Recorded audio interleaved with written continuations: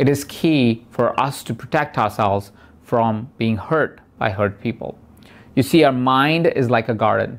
We can either sow seeds or we can sow weeds. You can choose today, you can choose right now if you're going to sow a seed or you can sow a weed. When you let a hurt person hurt you and get influenced by it, you sow a weed in your garden, in your mental garden, your psychological garden, your spiritual garden.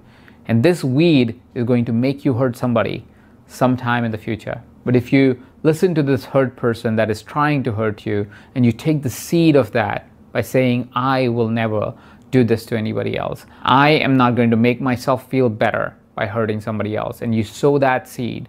You sow that seed of empathy, of compassion, of understanding, of love for humanity. You will find that over time, your mind will become a garden of beautiful flowers.